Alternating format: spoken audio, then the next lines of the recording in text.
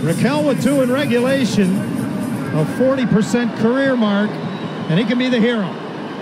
Slowly approaches off of left wing. Roofs it on the backhand. Top shelf where your mother never dusts. And the Ducks get two points. Rakell with two in regulation and the game winner in the shootout. And Anthony Stolarz with 40 saves. And the Ducks have won two in a row. And they take the first of four against the Sharks this season. 4 3 in a shootout at Honda Center. We're back with more in a moment.